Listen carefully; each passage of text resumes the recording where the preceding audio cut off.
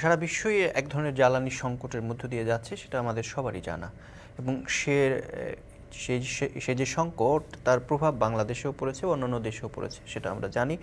এবং আমরা, তবে এর মাঝখানে আমরা দেখতে পাচ্ছি যে গত কয়েকদিন ধরেই বাংলাদেশে জ্বালানি বাংলাদেশে বিদ্যুতের সংকটটা বেশ প্রকট হয়েছে এবং আমাদের লোডশেডিং বেড়েছে। বেশ কয়েকদিন আগে আমরা দেখেছি গ্রিডে বিপর্যয় হয়েছিল।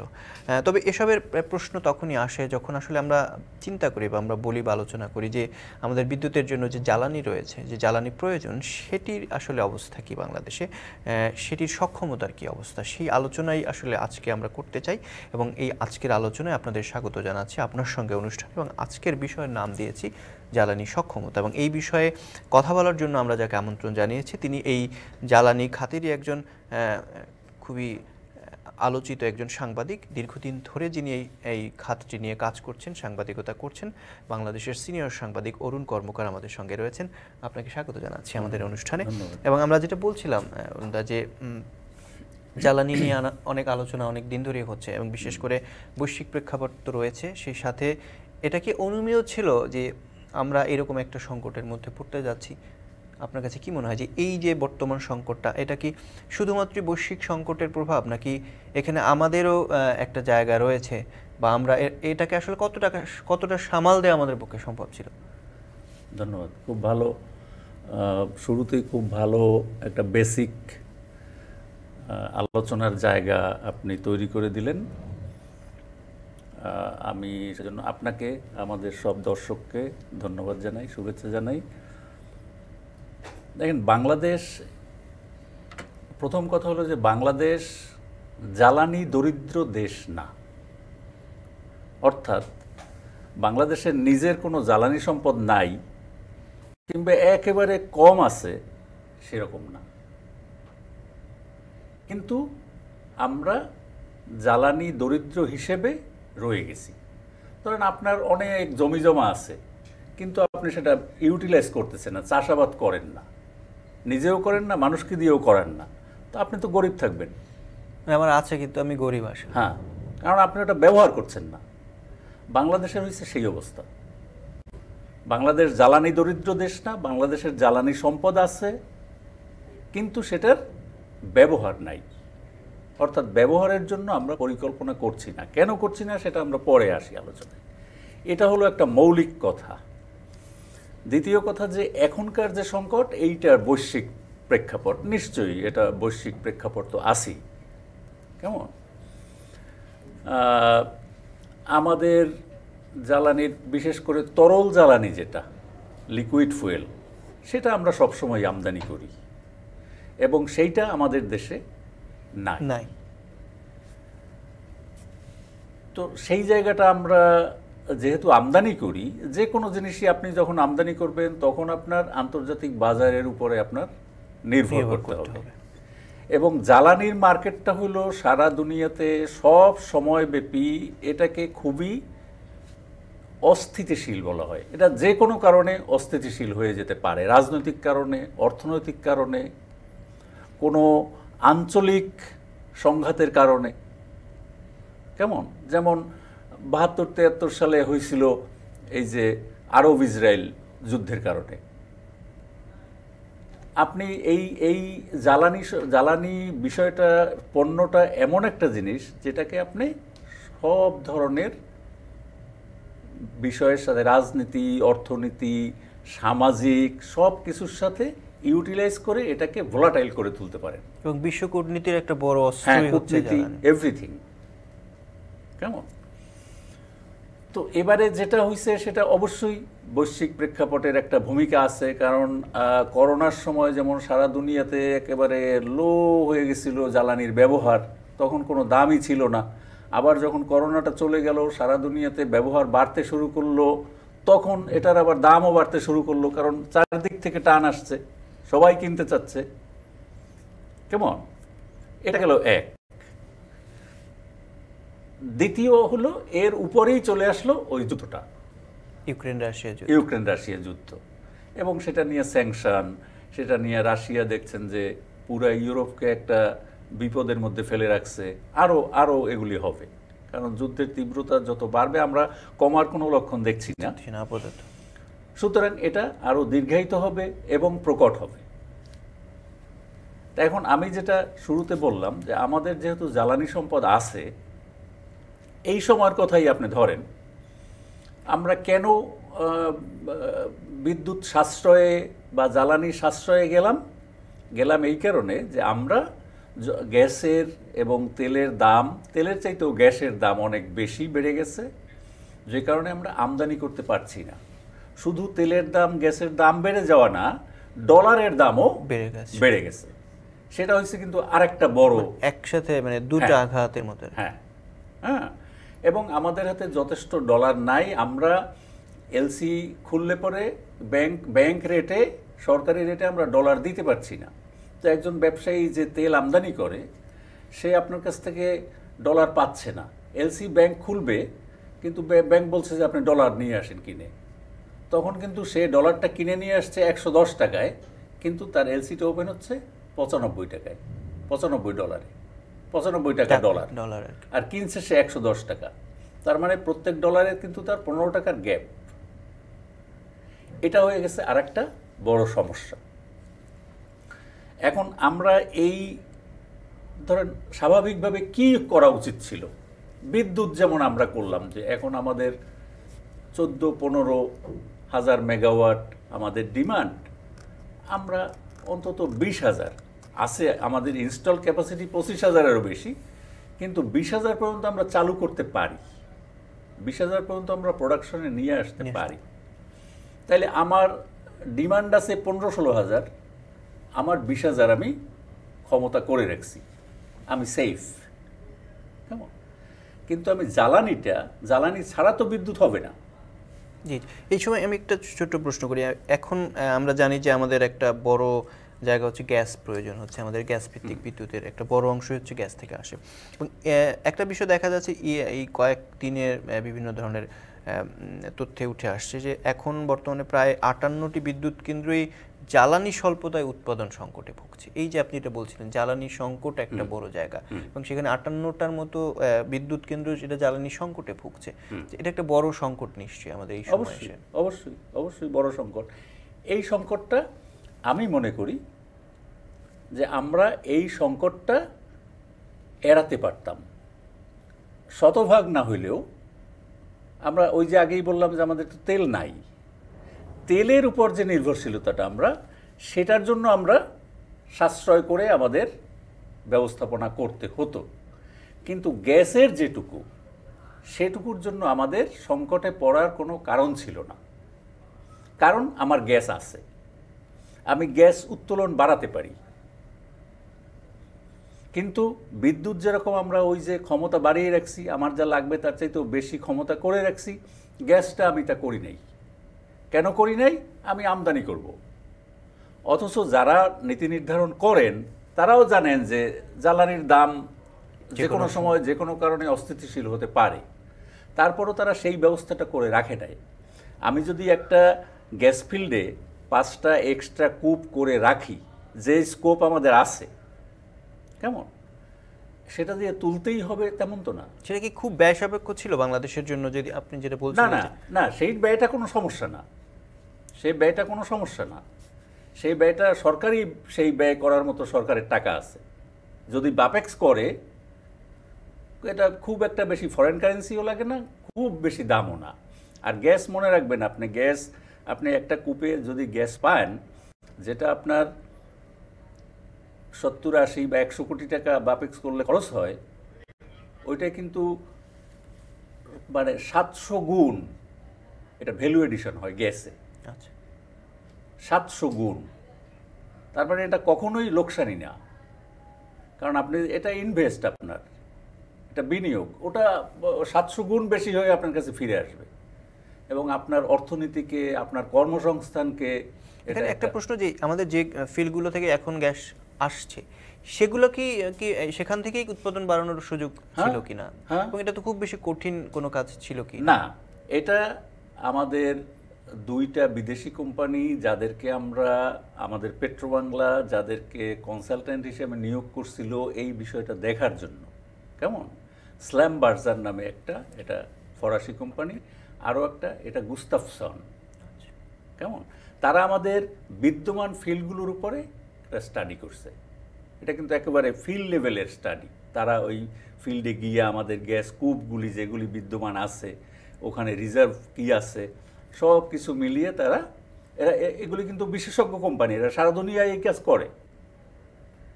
এবং তাদেরকে আমরা ডেকে আনছিলাম কনসালটেন্ট হিসেবে, এই জন্য যে এটা একটু করে দেখো, আমাদের কি প্রসপেক্ট তারা কিন্তু বলছিল যে তোমরা তোমাদের এক্সিস্টিং ফিল্ড থেকে ছয় মাস থেকে এক বছরের মধ্যে তোমাদের নতুন কূপও করতে হবে না। তোমাদের যে কূপগুলো আছে, সেগুলো অনেক পুরনো এবং অনেক অত এফিসিয়েন্ট না। এগুলিকে এফিসিয়েন্ট করার টেকনোলজি আছে। সেটা খুব ব্যয় সাপেক্ষও না সময় সাপেক্ষও না। তুমি ছয় মাস থেকে এক বছরের মধ্যে এখান থেকে ছয়শো মিলিয়ন ঘনফুট গ্যাস বাড়াতে পারো উৎপাদন। সেটা কিন্তু প্রায় আট সাত আট বছর আগে। সরকার তো সেটা করল না। কিন্তু এই কেন মনে হয় যে এই যে এই জায়গাটা গেল না কেন? আসলে তাহলে মানে আমাদের নীতিগত জায়গায় ভুলটা আমরা আসলে কেন করলাম? এখন না এটা কিন্তু আমি আগেই বলছি যে আমাদের নীতি নির্ধারকরা এত বোকা না যে তারা এই জিনিসটা বুঝবে না। নিশ্চয়ই। আমার সম্পদ আছে, আমি সেটার একটা ব্যবস্থা করে রাখলাম। যদি আমার আমদানিতে সমস্যা হয়, তখন যেন আমি এটা ব্যবহার করতে পারি। এইটুক না বোঝার মতো লোক আমাদের নীতি নির্ধারকরা না। তারপরও কেন হইল সেটা একটা বড় প্রশ্ন।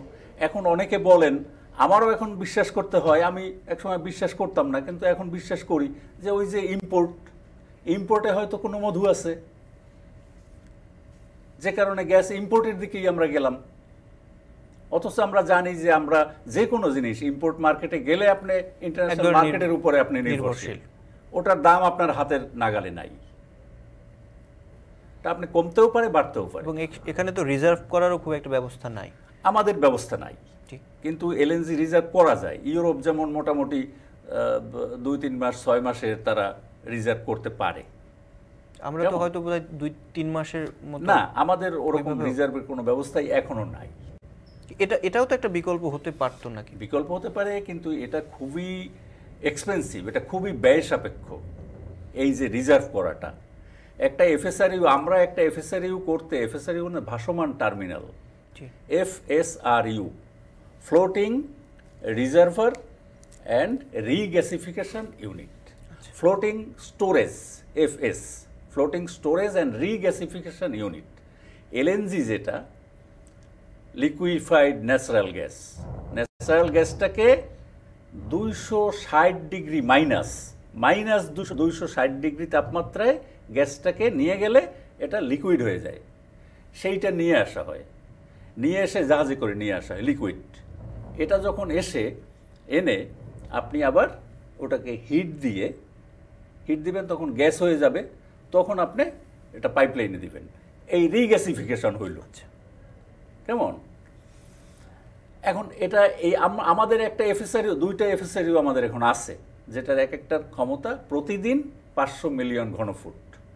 অর্থাৎ পাঁচশো মিলিয়ন ঘনফুটের সমান গ্যাস এলএনজি আকারে এনে আমরা পাইপলাইনে দিতে পারি।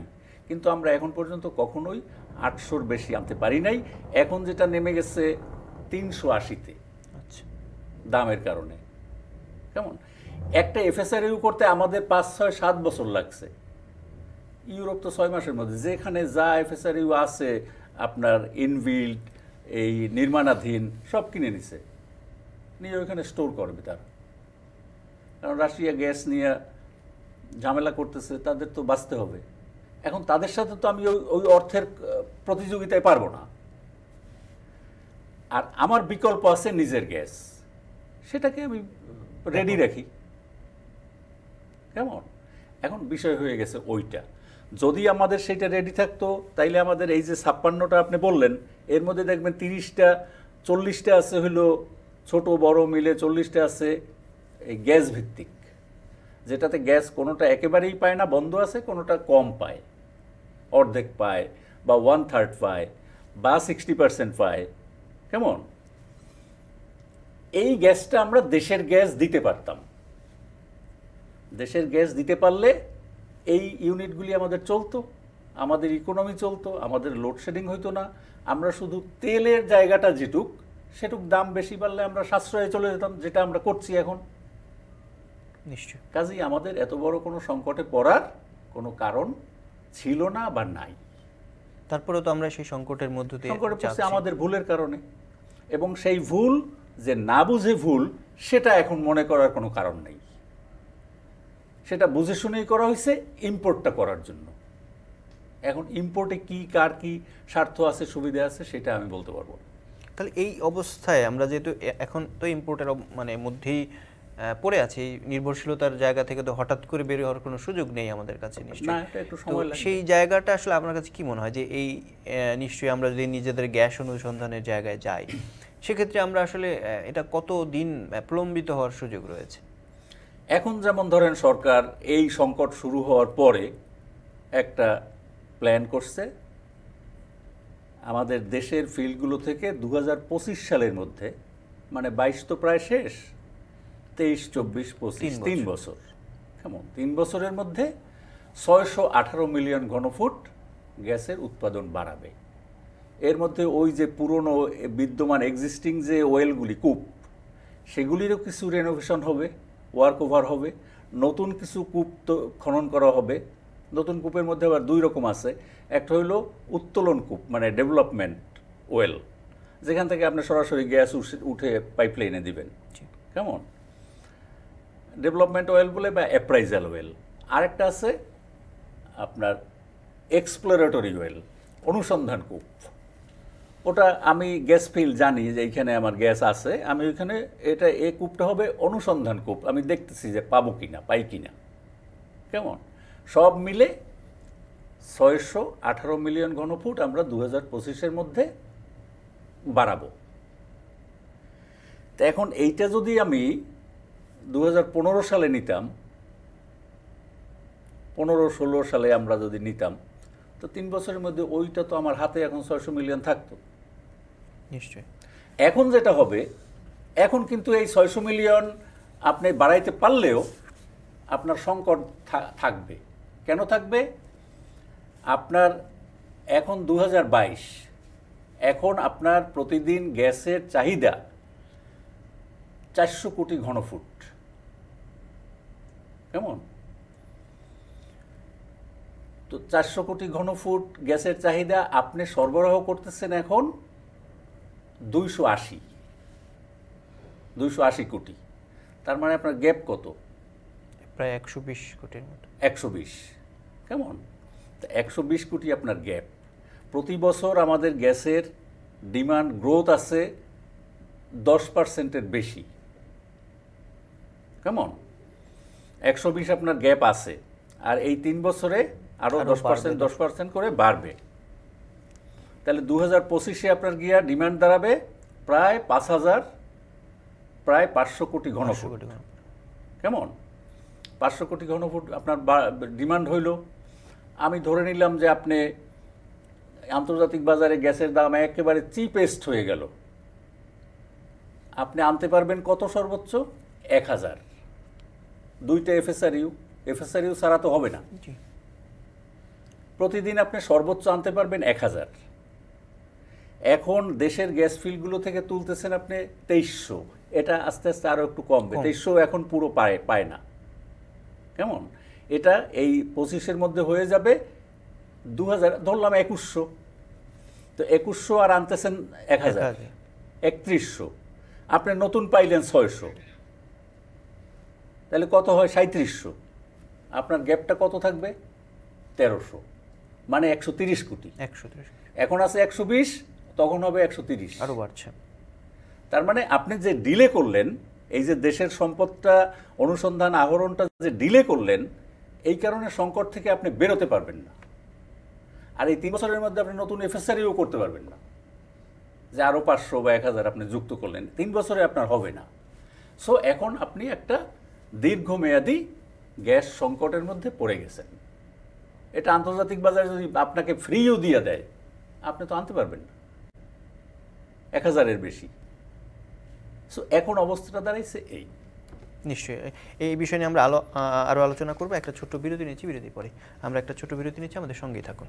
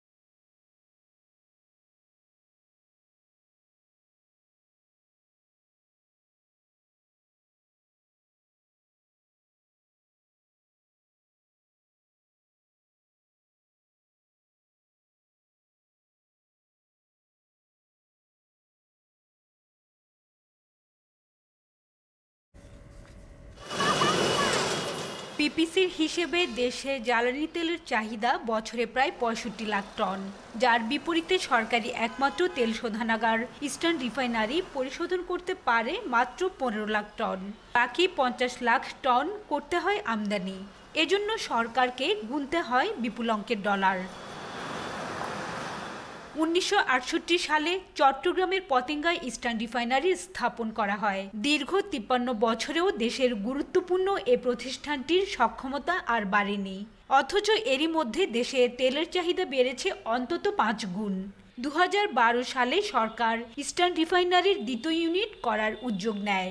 দু হাজার পনেরো সালে সমঝোতা স্মারক সই হয় ফ্রান্সের কোম্পানি টেকনিপের সঙ্গে।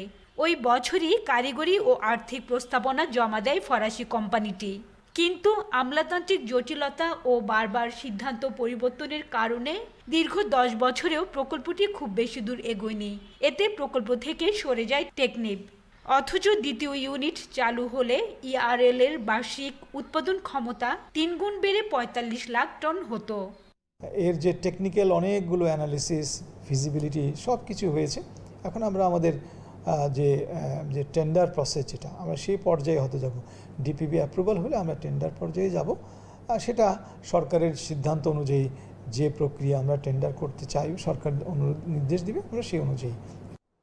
বিপিসির চেয়ারম্যান বলছেন, অপরিশোধিত জ্বালানি তেল আমদানি করে পরিশোধনে খরচ অনেক কম।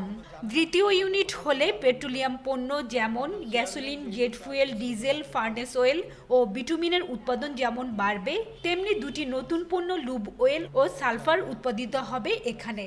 এতে বিপুল অঙ্কের অর্থ হবে সরকারের। এটার যে ক্যাপাসিটি তার তুলনায় তিন গুণ আরও আমরা বেশি লোকাল প্রোডাক্ট পাবো। আর সেইটুকু আমাদের বাইরে থেকে ইম্পোর্ট করতে হবে। এখন যেটা আছে, সেটার, সেটা হলো পুরনো আমলের টেকনোলজি এখন নতুন যে টেকনোলজিগুলি ইতিমধ্যে ওয়ার্ল্ডের রিফাইনারিতে জন্য সেগুলো আমরা এখানে যুক্ত হবে।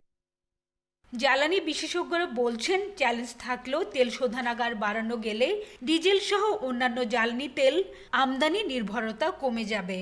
আমরা যদি এখন তিরিশ লক্ষ টনেরও একটা রিফাইনারি করতে পারি তাহলে আমি সর্বোচ্চ দশ লক্ষ টন ডিজেল উৎপাদন করতে পারব। এই দশ লক্ষ টনের যে উৎপাদন খরচ এবং তার যে চূড়ান্ত মূল্য সেটা বিদেশে শোধনাগারে পরিশোধিত যে ডিজেলটা আমরা পাই তার চাইতে কম মূল্য পড়ে।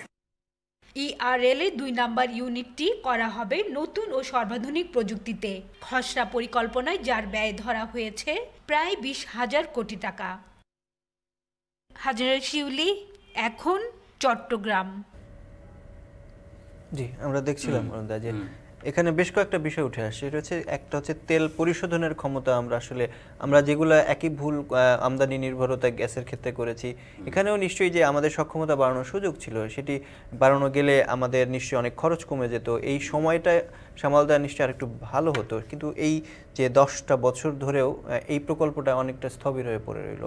এই কেন কি মনে হচ্ছে আপনার কাছে এই বিষয়টা নিয়ে? না এগুলি এগুলি সবই সবটাই একটু মানে সাধারণের কাছে রহস্যজনক মনে হবে এবং রহস্যজনকই বটে। কারণ বিপিসি যে বড় বড় প্রজেক্ট ইতিমধ্যে করে নাই বা করছে না তা না। এই যে একটা দেখাল এসপিএম সিঙ্গেল পয়েন্ট মোরিং কেমন? এটা কি? এটা জাহাজ থেকে তেল এনে ওখানে সমুদ্রের নিচে একটা পয়েন্ট করা আছে পাইপ দিয়ে ওইখান থেকে তেলটা দিবে, সরাসরি পাইপলাইনে চলে যাবে। কেমন? পাইপলাইনে গিয়ে আপনার বিভিন্ন ডিপোতে হ্যাঁ এবং ঢাকা, চট্টগ্রাম পাইপলাইন তেলের পাইপলাইন হইলে ঢাকায়ও চলে আসবে, কেমন?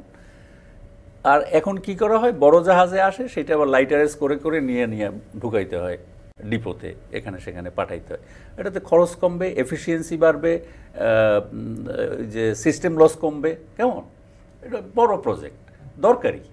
কিন্তু এর চাইতেও বেশি দরকারি হলো এই রিফাইনারিটা কারণ ওই যে বিপিসির চেয়ারম্যানই বলল যে আপনি রিফাইন্ড যে জিনিসটা আনেন সেটার দাম অনেক বেশি পড়ে।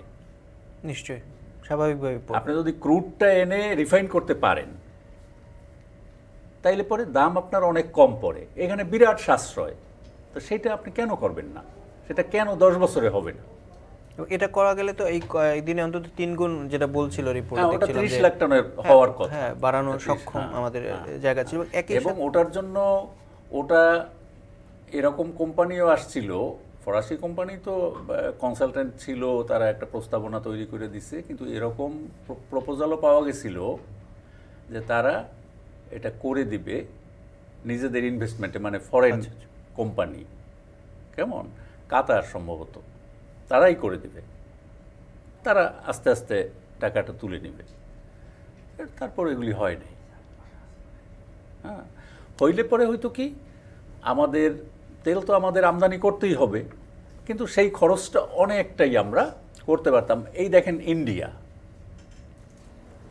রাশিয়া থেকে তেল এনে এক হইল যে রাশিয়ার সাথে সে একটা ডিপ্লোম্যাটিক রিলেশন করে নিছে এবং আমেরিকা বা অন্যান্য ইউরোপ তাদেরকে সে কনভিন্স করতে পারছে যে আমার ভাই রাসান তেল লাগবে। লাগবে। কম দামের তেল আমার লাগবে। তোমরা যা করো করো গিয়ে আমি এটার মধ্যে থাকতে পারব না। কেমন? সে ডিপ্লোম্যাটিক্যালি এটা ম্যানেজ করে রাসান তেল আনতেছে। এক হলো কম দামে আনতেছে বিশ্ববাজারে চাইতে কম দামে পাচ্ছে, আর সে অনেক তেল রিফাইন করার ক্যাপাসিটি সে গড়ে তুলছে। সব সরকার করছে তা না। ইন্ডিয়ান বেসরকারি কোম্পানি বিদেশের বেসরকারি কোম্পানি জয়েন্ট ভেঞ্চার কেমন? এখন সে করছে কি, কম দামে তেল একে তো কম দামে তেল কিনছে, আবার রিফাইন করে তার দাম কম পড়ছে। এই তেল সে সারা দুনিয়ায় বিক্রি করছে ইনক্লুডিং ইউএসএ আমেরিকা এই রাশার উপরে যে স্যাংশন দিয়ে স্যাংশন দেওয়া এর মধ্যেও আমেরিকায় কিন্তু এই রাসান তেল যাচ্ছে। থ্রু ভারত। থ্রু ইন্ডিয়া সারা দুনিয়া এসে তেল বিক্রি করতেছে। এখন আমরা সেটা না পারি আমাদের নিজেদের জন্য তো রাশিয়া একটা- আমাদের একটা ভালো অফার দিয়েছিল অনেক মোটামুটি সাশ্রয়ী মূল্যে বা আরও আরও সহজ করা সেখানে সেখানে চ্যালেঞ্জ দুইটা। একটা হলো যে আমাদের ক্যাপাসিটি নাই। এইখানে রাসান ক্রুড যেটা ক্রুড বিভিন্ন ধরনের হয়। আমরা যেটা ব্যবহার করি। ক্রুড সেটা নর্থ সি এলাকায় সেই তেলটা পাওয়া যায়। এটা লাইট আচ্ছা। লাইট অ্যান্ড সুইট বলে আর কি। কেমন? এটা রিফাইন করা একটু সহজ। আর রাসান ক্রুডটা একটু ভারী। হ্যাঁ ওটা রিফাইন করতে হলে একটু যন্ত্রপাতি আধুনিক লাগবে একটু শক্তিশালী লাগবে। ওই জন্য আমাদের এখানে হবে না। তো আমাদের ওইটা একটা চ্যালেঞ্জ যে রাসান তেলটা এনে আমরা ক্রুডটা ই করতে পারব না রিফাইন করতে পারব না। এক। দুই হলো যে ওই যে ডিপ্লোম্যাটিক চ্যালেঞ্জ এবং সেক্ষেত্রে না সেক্ষেত্রে আহ, তৌফিকুল চৌধুরী একবার বলছিলেন যে বা বিদ্যুৎ মন্ত্রীও প্রতিমন্ত্রীও বলছিলেন যে প্রয়োজনে মানে তারা আমেরিকার সাথে কথা বলেছেন তারা আপত্তি করবে না এরকম একটা কথা কিন্তু জানিয়েছিলেন গণমাধ্যমের সাথে। সেই সুযোগ ছিল যদি আমাদের সক্ষমতার জায়গাটা থাকতো। এটা মানে ডিপ্লোম্যাটিক বিষয়াদি কি? ওইটা যেটা সরাসরি আপনাকে বলল যে আচ্ছা তোমরা দেখো চেষ্টা করে দেখো আমাদের কোনো আপত্তি নাই। এইটাই সব না এটাই সব আপনার নিশ্চয়ই। এটার ভিতরে অনেক সমীকরণ রয়েছে। এখন ইউএসএ হলো আমাদের সবচেয়ে বড় এক্সপোর্ট মার্কেট বিশেষ করে গার্মেন্টস গার্মেন্টস পণ্যে। কেমন? এখন তারা যদি ওই জায়গাটা আবার একটু টাইট করে তাহলে তো আমার ঝামেলা। কাজে ওই মুখে একজন কি বলল? সিনিয়র অ্যাসিস্ট্যান্ট সেক্রেটারি স্টেট ডিপার্টমেন্টের এটার উপরে সবকিছু নির্ভর করে না। এটা তো ধরেন ইন্ডিয়া, তাদের যে ফরেন সেক্রেটারি জয়শঙ্কর, সে সরাসরি এগুলি ডিল করে। সে প্রেসের সাথে ইন্টারন্যাশনাল প্রেসের সাথে নেতাদের সাথে কথা বলে লাইভ কীভাবে সে করতেছে? সেটা সে বলে, ভাই, আমি, আমার পক্ষে সম্ভব না সারভাইভ করা। তোমরা ইউরোপ, তোমরা ধনী লোক, তোমরা করতে পারো। আমাকে তোমার এটা অ্যালাউ করতে হবে। এরকম প্রকাশ্যে বলে আবার গোপনে ওদেরকে বুঝায় যে তোমার কেমন? আছে তো কতগুলি? এখন বাংলাদেশের সেই অতটা সামর্থ্য না থাকতে পারে কিন্তু আমাদের নিজেদের মতো করে একটা ব্যবস্থা তো আমাদের রাখতে হবে যে মিনিমাম আমরা যেন একেবারে মিশে না যাই মাটির সাথে। আমরা যেন দাঁড়িয়ে থাকতে পারি এবং সেটা আমাদের পক্ষে সম্ভব কারণ আমাদের জ্বালানি সম্পদ আছে। শুধু যে গ্যাস আছে তা না আমাদের কয়লা আছে হ্যাঁ? আমাদের এই সানলাইট আছে হ্যাঁ? উইন্ডো আমাদের যথেষ্ট প্রসপেক্ট আছে সেগুলিও আমরা আস্তে আস্তে দেখতে পারি। এখন দেখ- দেখতেছি দেখতেছি দেখতেছি ওইটাতে কোনো হবে না। আপনার বাস্তবে অ্যাকশানে যেতে হবে। কয়লার প্রসঙ্গটা যেহেতু আসলো কয়লার ক্ষেত্রে আমরা অনেক দিনই মানে একটা নির্দিষ্ট জায়গায় দাঁড়িয়ে আছি। আমাদের আসলে আর এই যে কোনো ধরনের অগ্রসরতা নেই। পরিবেশ ইস্যুতে নানা রকম আপত্তি রয়েছে। নিশ্চয়ই সে বিষয়গুলো দেখ- দেখার প্রয়োজনীয়তা রয়েছে। কিন্তু সব এগুলো ছাপিয়ে বা পরিবেশ ঠিক রেখে বা যতটা সম্ভব বাংলাদেশে কি কয়লার জায়গাটা আসলে মানে আপনার কাছে কি মনে হয় যে সেটাকে ব্যবহারের কি ধরনের সুযোগ ছিল বা আমরা করতে পারি এখনও? সেটার সুযোগ একমাত্র চ্যালেঞ্জ তো হলো পরিবেশ। কেমন? এখন ধরেন পরিবেশের একটা বিষয় হলো পরিবেশ দূষণ হবে। এখন ভারত যে আমাদের সীমান্ত এলাকায় ভারত তো খুব দূরে না। সেখানে যে হাজার হাজার মেগাওয়াট বিদ্যুৎ কয়লায় করতেছে এবং নিম্নমানের কয়লায় এবং পুরনো টেকনোলজিতে সেই দূষণের শিকার কি আমরা হচ্ছি না? নিশ্চয়ই। হচ্ছি। কিংবা এই যে রাসান এই আমেরিকান এই স্যাংশন ট্যাংশনের কারণে রাসান যে গ্যাস ফ্যাস বন্ধ করে দিল, ইউরোপের অনেক দেশ পোল্যান্ড তারপরে আপনার ইভেন জার্মানি তারা যে তাদের কয়লা ভিত্তিক বিদ্যুৎ কেন্দ্র আবার চালু করল, এটার শিকার কি সারা দুনিয়া হচ্ছে না? আমাদের আমাদের কিন্তু ওই দূষণের ক্ষেত্রে, পরিবেশ দূষণের ক্ষেত্রে বাংলাদেশের অবদান মিনিমাম মিনিমাম বৈশ্বিক ক্ষেত্রে আর কি। এখন আমাদের যেটা সেটা হলো যে আমাদের ওই যে অঞ্চলে আমাদের কয়লা সেই অঞ্চলে আমাদের ফার্টাইল ল্যান্ড প্রচুর ধান হয়। কেমন? তা এখন আপনি কি করবেন? ওইটা আপনার একটা অ্যানালাইসিস করতে হবে। যে কোনটা আমার জন্য বেশি দরকারি কোনটা লাভজনক। আবার যেমন আমরা বড় পুকুরিয়ায় করলাম আন্ডারগ্রাউন্ড সিস্টেম ওইটাতে আপনি কয়লা তুলতে পারবেন হাইয়েস্ট ফিফটিন পার্সেন্ট আসলে পারবে দশ পার্সেন্ট ওখানে যদি এক লক্ষ টন কয়লা থাকে তুলতে পারবে দশ হাজার টন। দশ হাজার টন। এটা তো একটা বিরাট লস এবং তারপরও হবে কি আপনার ওই যে ল্যান্ডস্লাইড হবে। বড় প্রক্রিয়া যেটা হয়েছে জি। হ্যাঁ? গ্রামের পর গ্রামের গ্রাম দেবে গেছে। বিরাট দিঘি হয়ে গেছে জলাশয় হয়ে গেছে। সেখানকার মানুষকে সরিয়ে তাদেরকে পুনর্বাসিত করতে হয়েছে এটা তো একই রকম তো ক্ষতি। মানে আগে আর পরে বিষয়টা কি এরকম হ্যাঁ? অনেকটা? এবং এখন যেটা আপনার ওপেন পিট মাইনিং এর ক্ষেত্রে যেটা বলে যে ওপেন পিট মাইনিং একবারে তো হাজার হাজার একর করে না। কোলফিল্ড দশ হাজার একর এক হাজার একর নেয় নিয়ে সেইটা ওপেন করে কয়লাটা তোলে সেইটা আবার ভরাট করে কেমন? ভরাট করে ওটার উপরে ঘাস টাসও দেয়। তারপরে আবার আরেক হাজার একরে যায়। এখন এক্সপার্টরা বলে যে এটা তিরিশ বছরের মধ্যে কয়লাটা তোলার পরে এই এই যে আপনি এক হাজার তুললেন এটা তিরিশ বছরের মধ্যে এইটা আবার স্বাভাবিক অবস্থায় ফিরে আসে। হ্যাঁ আবার পুনরায় আপনি ব্যবহার করতে পারেন আগের মতো সেই অবস্থায় ফিরে আসে। এখন আমাদের আর একটা ইস্যু আছে আন্ডারগ্রাউন্ড ওয়াটার আন্ডারগ্রাউন্ড ওয়াটার কোনো আমরা ঝামেলা করতেছি কিনা? তাহলে সেটা একটা বিপর্যয় হবে। কিন্তু সেগুলি দেখা দরকার যে কোনটা কোনটা করা যায়। সারা দুনিয়া তো করছে। ইন্ডিয়া তো করতেছে। জি। তারা তো আন্ডারগ্রাউন্ড করে না। পুরো ওপেন পিট হ্যাঁ? এবং তারা ধরেন দুই লাখ মেগাওয়াটের মতো বিদ্যুৎ করে ইন্ডিয়া এখন। সত্তর আশি হাজার মেগাওয়াটের কয়লা? কয়লার বাইরেও আমরা যদি আরেকটু আলোচনা আসতে চাই, একটা ছোট্ট বিরতি নেবে। বিরতির পরে এসে আমাদের সমুদ্র সীমা জয়ের জায়গার পর থেকে সমুদ্রে আমাদের নিশ্চয়ই অনেক গ্যাস সম্পদ রয়েছে। সেই ক্ষেত্রে আমরা কতটা এগুতে পেরেছি সেই বিষয়টি নিয়ে আলোচনা করব। আর একটা ছোট্ট বিরতি নিচ্ছি। আমাদের সঙ্গেই থাকুন। আমরা একটা বিরতিতে যাচ্ছি।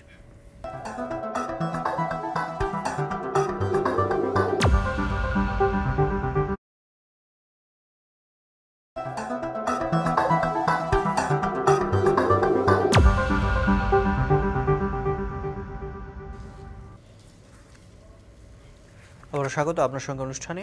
আমরা কথা বলছিলাম জ্বালানির সক্ষমতা নিয়ে।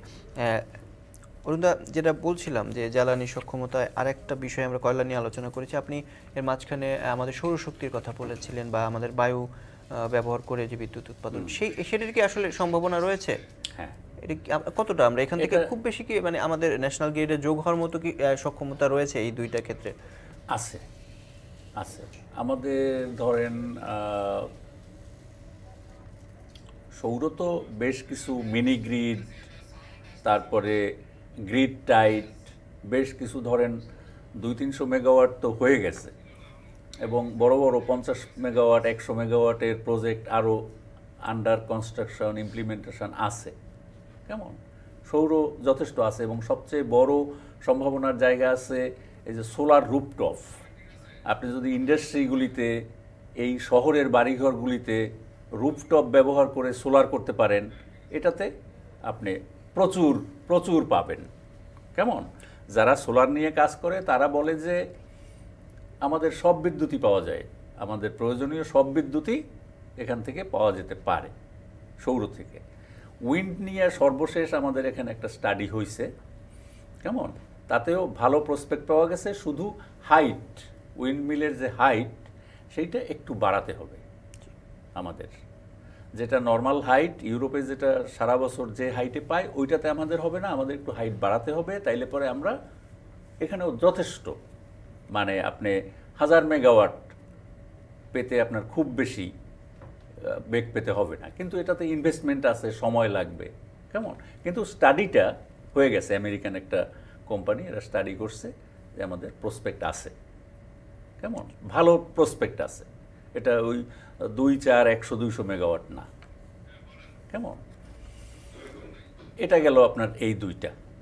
হ্যাঁ এটাই তো বলছিলেন নাকি সমুদ্র আবার বলছিলেন হ্যাঁ, সমুদ্রে আমরা আসব। তার আগে আরেকটা ছোট্ট বিষয় আমরা যুক্ত করতে চাই সেটি হচ্ছে যে আমাদের পারমাণবিক প্রকল্প যেটা রয়েছে যে রূপপুরে সেইটা নিশ্চয়ই একটু রাশিয়ার যুদ্ধের কারণে আহ, স্বাভাবিকভাবেই একটু দেরি হওয়ার সম্ভাবনা আছে কি নেই সেটা এখন হয়তো বলা যাচ্ছে না কাজ হয়তো এগুচ্ছে কি। এইটাও তো আমাদের একটা বড় সক্ষমতার জায়গা হতে পারে। আমরা এবং এটা শিগগিরই আমরা যত দ্রুত এটা যেতে পারব এবং এইটা এরকম আরও প্রজেক্ট যেহেতু বাংলাদেশ আবার একটি জনবহুল একটি ছোট রাষ্ট্র সেখানে খুব বেশি পারমাণবিক প্রকল্পে যাওয়া তো খুব বেশি সম্ভব না। তো এইটি আমাদেরকে কীভাবে সক্ষম আমাদের সক্ষমতা বাড়াতে পারে প্রথম কথা হলো যে এটা তো খুবই একটা বড় সক্ষমতা বাড়ানোর জায়গা। শুধু যে বিদ্যুৎ উৎপাদন পারমাণবিক বিদ্যুৎ কেন্দ্র শুধু বিদ্যুৎ উৎপাদন না, এটা কিন্তু একটা, এটা তো একটা হাইটেক একটা ইন্ডাস্ট্রি পারমাণবিক বিদ্যুৎ কেন্দ্র। মানে বিজ্ঞানের একেবারে একেবারে উচ্চ উচ্চ পর্যায়ের কাজ কারবার এখানে ইয়ে হয়। তো এইটা এখানে আমাদের শিক্ষায়, সংস্কৃতিতে কেমন? একটা বড় রকম পরিবর্তন নিয়ে আসতে পারে এই এই টেকনোলজির কারণে। এখানে আমাদের অনেক ছাত্রছাত্রী, ছেলেমেয়েরা এখানে কাজ করবে, তারা শিখবে। এটার একটা প্রভাব সামাজিক জীবনে শিক্ষায় পড়বে। এটার একটা বড় ইয়ে আছে। আমার মনে হয় যে এটা রাশিয়া ইউক্রেন যুদ্ধ একেবারে চূড়ান্ত পর্যায়ে যদি না যায় তাহলে পরে এটা খুব ডিলে, ওই প্রজেক্ট, পাওয়ার প্রজেক্ট ইমপ্লিমেন্টেশন খুব ডিলেড হবে না। মোটামুটি টাইম লাইনের মধ্যেই আছে। করোনা টরোনার কারণেও তারাও তারা কাজ করছে। এর মধ্যে অনেক উপকরণ হ্যাঁ, আসছে জাহাজে হ্যাঁ। করে আমরা দেখেছি। হ্যাঁ ওটা মোটামুটি টাইম লাইনের মধ্যেই আছে। খুব একটা ডিলে এটা হবে না। কিন্তু এটার যে সমস্যাটা হবে সেটা হলো গ্রিড পারমাণবিক বিদ্যুৎ আপনার এটার জন্য আমাদের যে গ্রিডের সক্ষমতা লাগবে আমাদের জাতীয় বিদ্যুৎ গ্রিড সেভাবে সক্ষম এখন না। এবং আমরা যদি দু হাজার চোদ্দ চব্বিশের ডিসেম্বরে এই বিদ্যুৎ কেন্দ্র প্রথম ইউনিট চালু করতে চাই দু হাজার তেইশের ডিসেম্বরে বোধহয় প্রথম ইউনিট চালু করার কথা তেইশের ডিসেম্বরে হবে না হয়তো ছয় মাস পরে হবে। এর মধ্যে এই সময়ের মধ্যে আমাদের গ্রিডের ওই উন্নয়ন সম্ভব হবে না। তাহলে সেটা আসলে আমরা কি তাহলে পড়ে থাকবে বা কাজে লাগাতে পারব না? সেই রকমই একটা হবে। আমরা দেখতে পাচ্ছি যে গ্রিডের সঞ্চালনা নিয়ে কয়েকদিন আগে আমরা হ্যাঁ, একটা হ্যাঁ। বড় সমস্যার মধ্যে দিয়ে গেলাম। হ্যাঁ। এবং এখানে নানা প্রশ্ন এটা পারমাণবিক বিদ্যুতের কিন্তু কতগুলি টেকনিক্যাল ইয়ে আছে এটা আপনি মানে ট্র্যাডিশনাল গ্রিডে হবে না গ্রিডের কোড থাকে কতগুলি কোড নাম্বার লাগবে। যে এই বিদ্যুৎটা যখন আপনি গ্রিডে দিবেন গ্রিডে যখন এটার সিঙ্ক্রোনাইজেশন করবেন সেই গ্রিডকেও ওই বিদ্যুৎ ওটা তো কন্টিনিউয়াস নিতে হবে। কেমন? ওটা বেজ লোড হিসেবে কাজ করবে। ওরা সারাদিন রাত চব্বিশ ঘণ্টা চলবে। বেজ লোড ওটা। ওটা যে আপনি পিকিং এখন চালাইলেন আবার বন্ধ করলেন তা না। সুতরাং গ্রিডকে সেইভাবে আপনার সক্ষম করে তুলতে হবে। এবং সবচেয়ে ভালো হয় যদি আপনি চারশো কেভি গ্রিড হয়। চারশো কেভি গ্রিড আমাদের এখনও নাই যেটা কিছু কিছু জায়গায় করতেছে। হুম। কাজেই গ্রিডের জন্য এই বিদ্যুৎ আমাদের ব্যবহার এটা কিছুটা বিলম্বিত এবং বিঘ্নিত হবে বলে আমার আশঙ্কা। কিন্তু আমরা চাইব যে সেটা যত।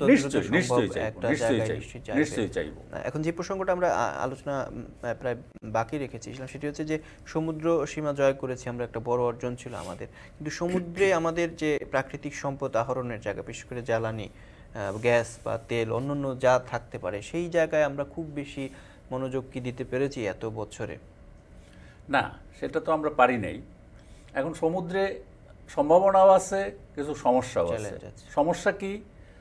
ধরেন আমাদের এখানে স্টাডি যা আছে এখন পর্যন্ত একেবারে ফিল্ড বেস স্টাডি আমাদের তেমন একটা নাই। বঙ্গবন্ধুর সময়ে শুধু এই আপনার বে অফ বেঙ্গলে বিদেশি কয়েকটা কোম্পানি তারা কিছু স্টাডি টাডি করছিল তখন তাদের টার্গেট গ্যাস ছিল না।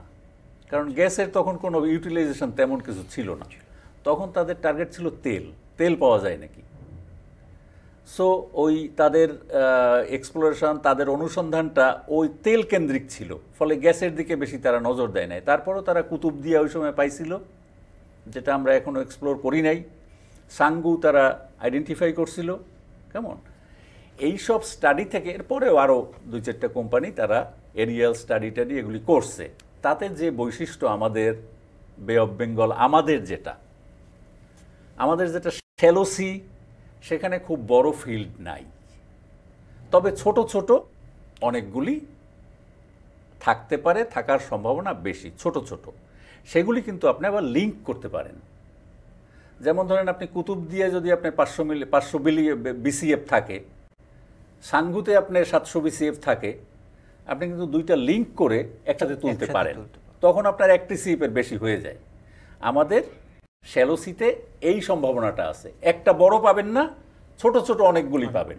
এগুলিকে লিঙ্ক করে আপনি একটা বড় মজুদ ব্যবহার করতে পারেন। এটা এক। দ্বিতীয় হলো যে আপনার ডিপসি ডিপসিতে আপনি অন্তত পাঁচ টিসিএফ এর কম গ্যাস পাইলে সেইটা কমার্শিয়ালি ভায়াবল হবে না। কারণ ওখানে এক্সপ্লোর করা ওইটা নিয়ে আসা। কেমন? এটা অনেক খরচ সাপেক্ষ, ব্যয় সাপেক্ষ। সুতরাং, আর ওখানে তাইলে আপনার দেখতে হবে ওইটা যে বড় ফিল্ড আপনার পেতে হবে। কেমন? সেইটা আমরা ওই রকম স্টাডি এখনও করি নাই। যেটুকু করা হয়েছে তাতে খুব বেশি আমরা দেখি না যে এরকম ইয়ে আছে। কিন্তু আমাদের যারা বর্ডারে ওই মিয়ানমার কিংবা ইন্ডিয়া তাদের সাইডে যেগুলি পাইছে, অনেক বড় বড় ফিল্ড তারা পাইছে। সুতরাং আমাদের জিওলজিস্টদের এক্সপার্টদের ধারণা যে আমাদের এপাশেও অবশ্যই আছে। কেমন? সেটা দেখতে হবে। সেটা এখন যেটা পরিস্থিতি আমাদের যে পিএসসি মডেল পিএসসি ছিল সমুদ্রের জন্য সেটাতে গ্যাসের দাম নির্ধারণ করা ছিল কম। ওই দামে কেউ কোনো কোম্পানি আসতে চায় না। কারণ ওখানে কাজকর্মে একটু খরচ বেশি। এখন পিএসসিটা আপডেট করা হচ্ছে। এই ডিসেম্বরে বোধহয় একটা বিজ্ঞপ্তিতে যাবে মানে টেন্ডার বিজ্ঞপ্তি। ওই পিএসসিতে গ্যাসের দাম বাড়িয়ে দেওয়া হচ্ছে যাতে কোম্পানিগুলি আগ্রহী হয়। এবং কোন একজন মোবিল থেকে শুরু করে কয়েকটা কোম্পানি অলরেডি তারা ভারবালি বলছে যে তারা ইন্টারেস্টেড তো আমরা দেখি ডিসেম্বর তো বেশি দেরি নাই। মডেল পিএসসিটা প্রকাশ করলে সেইটা অনুযায়ী বিজ্ঞপ্তি হইলে দেখি আমরা কারা আসে। তারপর ওটা ওটা আসলে সময় লাগবে। ওটা ওটার জন্য আমাদের এই এখনকার সংকট টঙ্কট এগুলি ওটা অন্তত আপনি দশ বছর। যদি এই ডিসেম্বরেও আপনি বিজ্ঞপ্তি দেন সেই অনুযায়ী কোম্পানিগুলি আসে আপনি তাদের সাথে নেগোসিয়েট করে কাজ টাজ দিয়ে দিলেন তারপর আপনি ধরে নেবেন যে দু সালের মধ্যে এটা হইলে দু হাজার তেত্রিশের আগে আপনি ওখান থেকে কিছু পাবেন না। সেটা একটা লম্বা সময়ের ব্যাপার। লম্বা সময়ের আমরা আলোচনার একদম শেষ পর্যায়ে আপনার কাছে ছোট্ট করে জানতে চাই সব কিছু মিলিয়ে যদি আমরা খুব দ্রুত একটা জ্বালানি সক্ষমতার দিকে যেতে চাই আপনার জায়গা থেকে কোনো ধরনের কি ধরনের উদ্যোগ নিলে নিশ্চয়ই এটা দ্রুত করার একটা সুযোগ তৈরি হতে পারে? খুব অল্প কথায় যদি একটু বলেন। সেটা সরকার অলরেডি কিছু উদ্যোগ নিছে, যেটা আমি বললাম যে ছয়শো আঠারো মিলিয়ন ঘনফুট উৎপাদন বাড়ানোর উদ্যোগ নিছে। সেটার প্রায় সবটাই ব্যাপেক্স কেন্দ্রিক, কেমন? এছাড়া শেভরনকে বলা হয়েছে আরও তিনটা কূপ করতে, কেমন? বিবিয়ানায় তারা বোধহয় আগামী বছর একটা করবে, পরের বছর আরও দুইটা করবে। এছাড়া আমাদের শেভরনেরই আরেকটা ফিল্ড জালালাবাদ। ওইটা ওদেরকে ওটার যে কন্ট্রাক্ট পিরিয়ড ছিল, ওটা চব্বিশ পর্যন্ত ছিল ওটা দশ বছর তাদের বাড়িয়ে দেওয়া হয়েছে। ওরা ওইখানেও কিছু এক্সপ্লোরেশন অ্যাক্টিভিটিস বাড়াবে, ওখান থেকে কিছু আমাদের সম্ভাবনা আছে। এই জালালাবাদ হইল সিলেট শহর ধরে ওইটার আশপাশ। কেমন? আরেকটা ফিল্ড আছে সেভরন করে মৌলভীবাজার, ওটাতে আর সম্ভাবনা নাই, ওটা ডিপ্লিটিং ওটার খুব একটা কিছু হবে না বেশি। জালালাবাদ থেকে আমরা আমরা বেশ কিছু গ্যাস পেতে পারি। এটা দুই তিন বছরের মধ্যে শেভরনকে বললে তারা ওখান থেকে দুইশো, তিনশো মিলিয়নও বাড়িয়ে ফেলতে পারে। তো এই কাজগুলি যেন এই দু হাজার পঁচিশের মধ্যে হয়। তাইলে পরে অন্তত আমরা টিকে থাকার জায়গাটায় যেতে পারব। আর ধারণা করা যায় এর মধ্যে বিশ্ববাজার মোটামুটি স্বাভাবিক হয়ে আসবে। এবং আমরা এক হাজার তো আনতে পারব। পাশাপাশি আরও যদি এফএসআরইউ আমরা করতে চাই করতে তো চাই আমাদের প্ল্যান আছে। ল্যান্ড বেজ তারপরে ভাসমান দুইটারই প্ল্যান আছে। সেগুলি একটু এক্সপেডাইট করা যাতে তাড়াতাড়ি হয়। আর তেলের ওই যে আপনি রিপোর্ট দেখাইলেন রিফাইনারি সেটাই সক্ষমতা নিশ- অনেক ধন্যবাদ আপনাকে এই পুরো আলোচনার জন্য। এবং আমরা দেখতে পাচ্ছি যে আমাদের নিশ্চয়ই কিছু অনেক কাজ করার ছিল, সেগুলো হয়তো নানা কারণে হয়নি, নিশ্চয়ই সেই কাজগুলো এখন যত দ্রুত সম্ভব করার মধ্য দিয়ে আমরা যে জ্বালানির সংকট, সেটা আশা করি একটা ভালো জায়গায় যেতে পারব। এই আশাবাদ রেখে আজকের মতো এখানে শেষ করছি। দর্শক, আজকের মতোই শেষ করছি আপনার সঙ্গে। ভালো থাকবেন।